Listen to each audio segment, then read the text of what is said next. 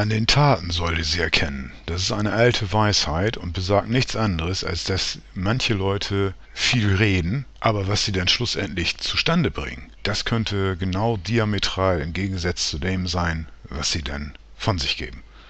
KenFM hatte sich zu den Flüchtlingsströmen geäußert und meinte, wir müssten alle möglichen Flüchtlinge aufnehmen, weil wir ja die Waffen liefern. Das sind alles unzulässige Verallgemeinerungen, denn nicht wir liefern die Waffen für irgendwelche Kriege sonst wo, sondern wir schaffen auch auf wirtschaftlicher Ebene die Fluchtursachen, wie hier zum Beispiel auf dem Kanal Bananenrepublik 1, wie die EU Fluchtursachen schafft, statt sie zu bekämpfen. Das ist eine Monitorsendung. Also die sogenannten Lügenmedien wissen es besser als KenFM und sonstige Gutmenschen, ja, die immer nur kurzfristig denken und Wunschdenken anwenden. Des Weiteren meinte KenFM dann auch, ja, man müsse den C-Parteien das C aberkennen, weil das irgendwas mit christlich zu tun hat. Dies hier ist ein YouTube-Klassiker. Das ist Seehofer, der äh, Chef der CSU, bei Pelzig, ne, also auch wieder in den Lügenmedien, aber hier wird die absolute Wahrheit in kurzen Worten zusammengefasst. Er sagt, also Seehofer sagt, die, die regieren, sind nicht gewählt und die, die gewählt sind, haben nichts zu entscheiden. So, das ist alles. Ne? Und deswegen braucht man sich da auch nicht wundern. Und Gerhard Wischnewski hatte sich dann auch zu dem Thema geäußert und versetzt den Begriff Massenmigrationswaffe mit einem Fragezeichen. Das muss man im Zusammenhang sehen mit dem, was uns von ganz vielen Leuten aus den USA erzählt wird. Das sind nicht irgendwelche Leute. Man kann das durchaus erfahren, wenn man denn sich mit dem Thema auseinandersetzen würde. Wie zum Beispiel das, was Thomas Barnett sich so ausgedacht hat, der da von einem Non-Integrationing Gap spricht, also einer Kluft zwischen den Staaten, die sich nicht integrieren lassen in ein gewisses System. Und diejenigen, die was dagegen haben, ne, für die hat er auch eine ganz simple Empfehlung. Kill them. Bringt sie um. Das gibt schon mal einen deutlichen Hinweis, in welche Richtung es geht. Und wie hier zum Beispiel General Shakashvili das ist der Autor des Strategiepapiers Joint Vision 2010. Hierüber könnte man diverse Videos machen. Kurz zusammengefasst, er sagt, die USA braucht die Full Dominance, die volle Dominanz auf allen Bereichen oder in allen Gebieten. General Shakashvili weiß aber auch, dass die US-Truppen nicht fähig sind, dauerhaft irgendwo präsent zu sein. Ausnahmen gibt es natürlich, die sind auch schon lange her, wie zum Beispiel hier die Bundesrepublik Deutschland, nicht wahr? Oder Artikel 120 Grundgesetz, die Besatzungskosten zahlt der Bund. So ließe sich eine US-Truppe dauerhaft am Boden halten. Gleiches gilt für Südkorea und für Japan. Aber das waren sie dann auch schon weltweit, die man in ähnlicher Weise schröpfen könnte, um eine dauerhafte Präsenz der US-Truppen zu gewährleisten.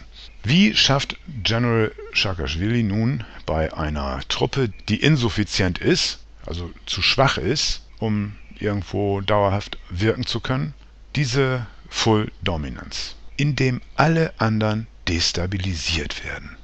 Und das betrifft auch uns. Ich erinnere nochmal an die Rede von George Friedman, wo klar abgezeichnet wurde, welche neuen Verbündeten die USA hat, nämlich von Lettland über Polen Ungarn hätten sie gerne, Rumänien hätten sie auch gerne und somit einen Sicherheitsgürtel zu schaffen von der Ostsee bis zum Schwarzen Meer. Und dieser Sicherheitsgürtel, der richtet sich nicht nur gegen Osten, sondern auch gegen Westen.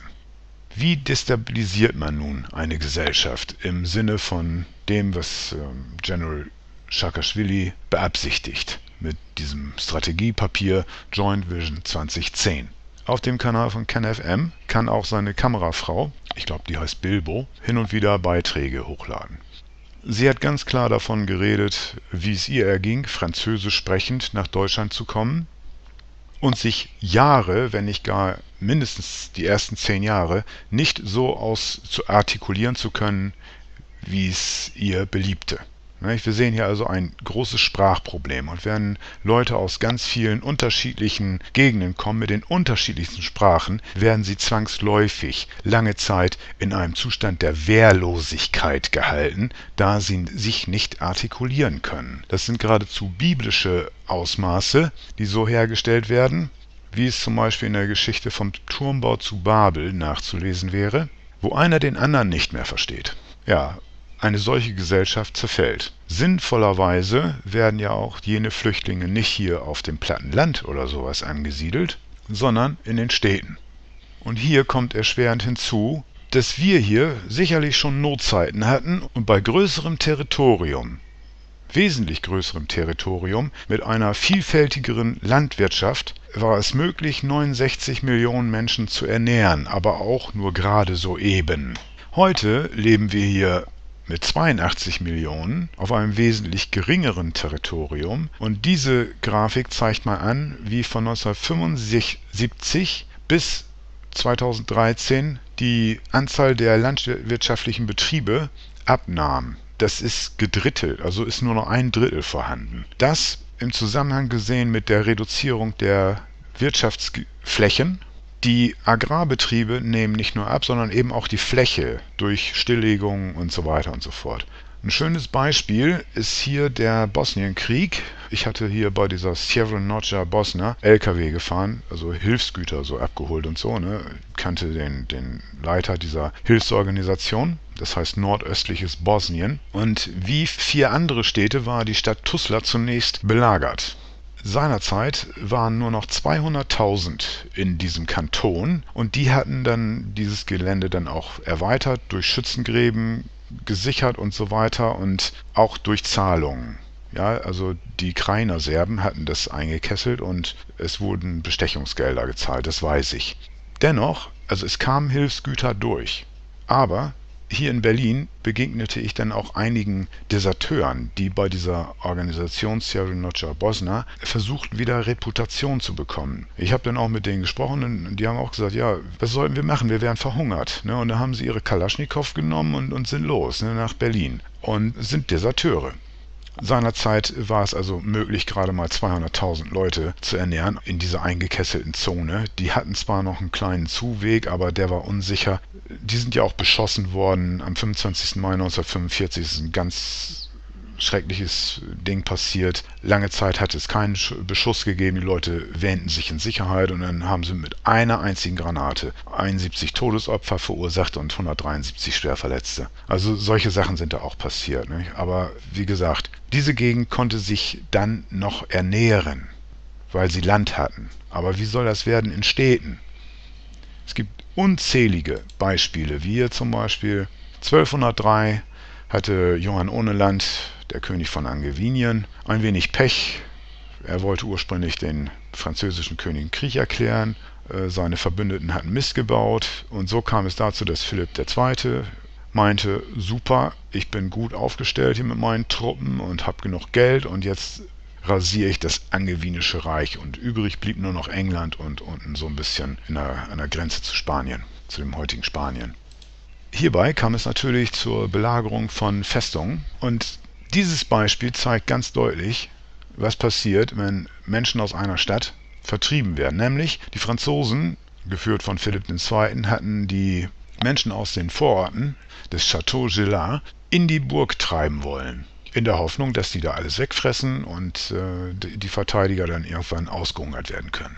Das wusste Roger de Lacy, der Kommandant der Garnison, und schickte die Flüchtlinge in den Burggraben. Also die Verteidiger der Burg als auch die Belagerer mussten nun sieben Monate mit zusehen, wie diese Leute dort also vor sich hin vegetierten. Das, es war auch noch Winter in der Zeit. Tja, und ähm, es kam zu Kannibalismus. Anders konnten die da ja gar nicht überleben. So, und das haben die sich sieben Monate lang angucken müssen. Verteidiger wie Belagerer. So viel zum Thema, äh, was mit den eigenen Leuten im Ernstfall passiert. Was Hungersnot anrichten kann, zeigt auch der Dreißigjährige Krieg wie hier von Jacques Callot. die, dieser Holzschnitt oder Kupferstich, was es ist, weiß ich nicht mehr, als Kardinal Richelieu mit französischen Truppen in den Dreißigjährigen Krieg eingriff. Das war schon die zweite Hälfte des Dreißigjährigen Krieges. Aber schon damals war das Land so durch Krieg und, und umherziehende Soldateska verwüstet, dass eben kaum noch mal zu essen da war. Dieser Krieg hatte die Bevölkerung reduziert von 1618 äh, von 18 Millionen bis 1648 auf nur 9 Millionen. Es gibt kaum ein zweites Beispiel, was eine derart hohe Verlustziffer aufweist als der Dreißigjährige Krieg. Und was die da gemacht haben, um mit dieser Hungersnot fertig zu werden, sieht man hier auf diesem Bild. Es sind die eigenen Leute, die aufgehängt werden. Historiker sind sich da ganz sicher, denn man erkennt bei genauerem Hinsehen, dass einige Holzbeine haben. Es sind Kriegsversehrte. Unnütze Esser, man hängt sie einfach auf. Sowas passiert im Zustand der Hungersnot, wenn es extrem wird. Man muss hin und wieder den Teufel an die Wand malen, sonst kapiert der Gutmensch es nicht. Und wenn KenFM vom Wir spricht, äh, die nun die Waffen in alle Gegenden liefern, ja, wir sind das nicht. Also ich bin's nicht. Vielleicht hat KenFM ja irgendwelche Aktien bei Heckler und Koch oder so, das weiß ich nicht. Ich nehme aber eher an, dass, dass er sich einfach nur in der Wortwahl vergriffen hat und es ist immer wichtig, richtig zu adressieren. Wenn es hier um ein Wir geht und um Flüchtlinge, dann geht es hier zum Beispiel auch um die Boat People. Damals, nach dem Vietnamkrieg, als sich die USA schon längst zurückgezogen hatten und die Südvietnamesen auch ein bisschen Widerstand geleistet hatten, wurden viele Südvietnamesen, als sie dann von den Nordvietnamesen, von den Kommunisten erobert wurden, als Kollaborateure angesehen. Diese mussten fliehen. Das Leben, das äh, wäre zu hart gewesen. Diese Boat People, daher kommt der Begriff, sind dann häufig Opfer von Piraten geworden. Ich habe hier selber einen Vietnamesen kennengelernt. Ich, ich war ja im Gesundheitsbereich tätig ich sprach also mit einem Vietnamesen und er hatte mir ganz klar gesagt, ne, also ich kann, er konnte von Glück reden, durchgekommen zu sein mit dem Boot, womit sie denn da geflohen sind. Aber er habe keine Hoffnung, dass er hier eine vietnamesische Frau trifft. Das hatte eben damit zu tun, dass die Piraten Thai-Fischer, also Fischer aus Thailand, sobald sie auf so ein Boot stießen, haben sie Männer, alte Frauen und so weiter alle umgelegt und die Mädchen mitgenommen in Thai-Puffs. Das war das Schicksal dieser Boat People. Leute stellen sich Piraten immer als was Lustiges vor oder, oder Romantisches oder hier diese Conchita Wurst-Piraten, die da äh, aus Hollywood kommen oder so. Nee, so waren die gar nicht. Piraterie geschieht häufig aus Armut oder eben auch aus Gier, muss man auch sagen.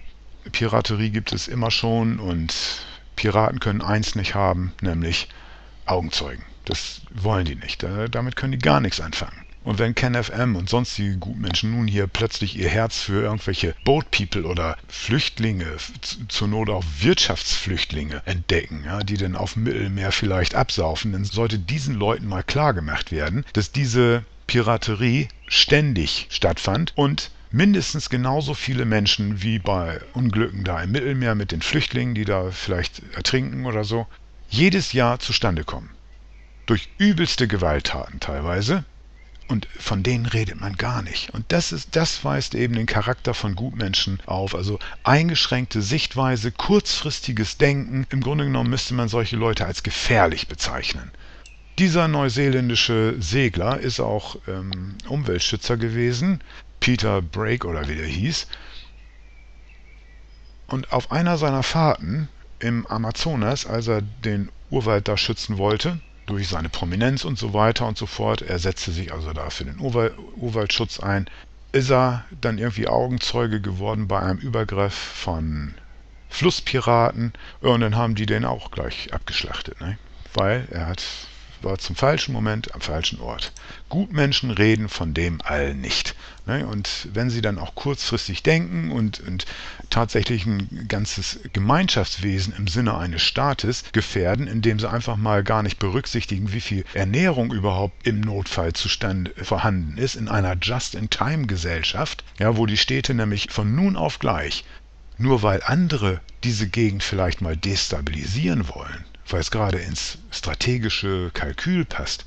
Wer hier nicht die Frage stellt, ob die Ernährungssituation überhaupt den ungezügelten Zustrom von Flüchtlingen rechtfertigt, das ist Gutmenschens Kurzsichtigkeit und das ist gefährlich. Und dass Gutmenschen nicht nur auf diese Weise gefährlich sind, beweist hier das nächste Kapitel.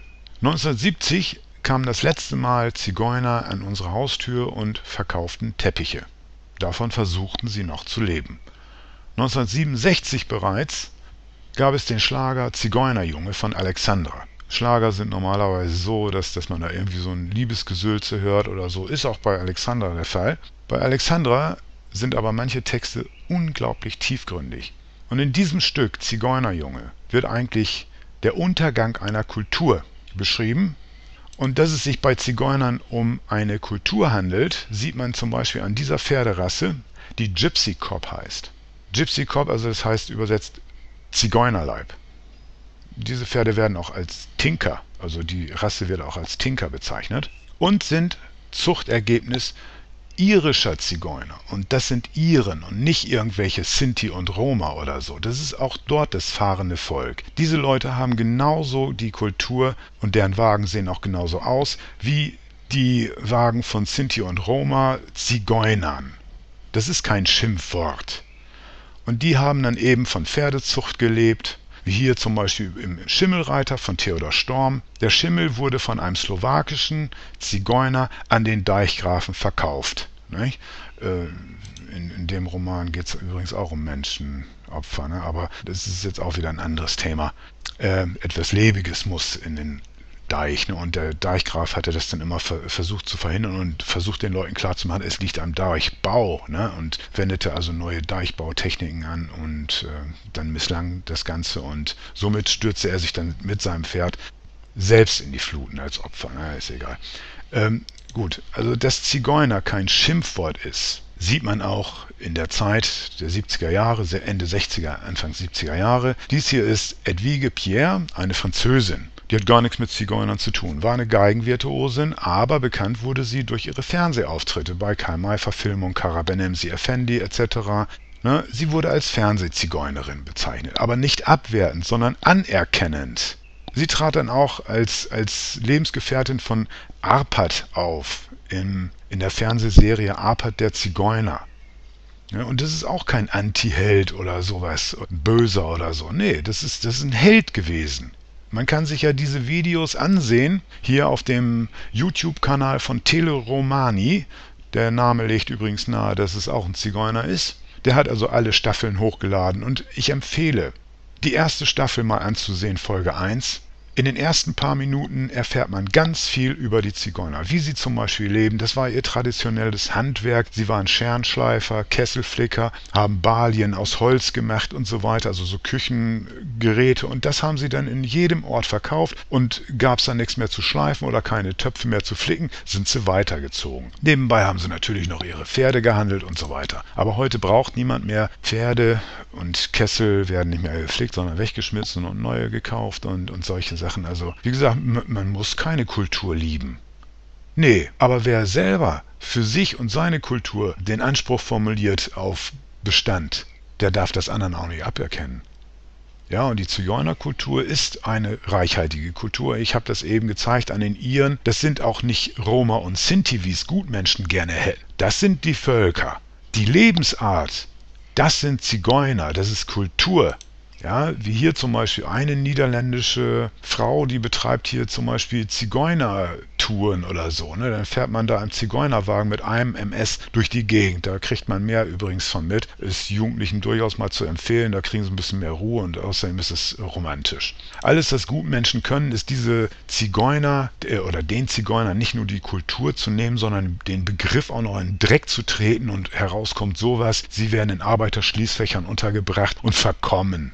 Und dieser Prozess, der ist so ungefähr anzusiedeln in den Ende der 60er, Anfang der 70er Jahre und soll einfach nur mal darstellen, dass Gutmenschen Kulturvernichter sind. Auf übelste Art und Weise. Wenn man das nochmal zusammennimmt, ist dieses Gutmenschendenken Wasser auf die Mühlen von diesen ganzen Think Tank-Leuten, die nach Belieben irgendwelche Gegenden mal ein- und ausschalten, destabilisieren wollen für kurz- oder längerfristige strategische Planungen. Und die, diese Leute, die fragen nicht, oh, passieren da Opfer. Übrigens, Friedman hatte schon angekündigt, dass es hier zu jeder Menge Opfern kommen wird. Vermutlich durch Auszehrung. Also, Gutmenschen sind in Wirklichkeit Schlechtmenschen. Bis hierhin erstmal. Ich wünsche euch alles Gute und gehabt euch wohl.